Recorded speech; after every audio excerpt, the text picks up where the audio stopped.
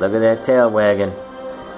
That tail wagging is because Pepsi's favorite character is back on Game of Thrones, the Hound. Yep, she's excited. Pepsi's a hound, too.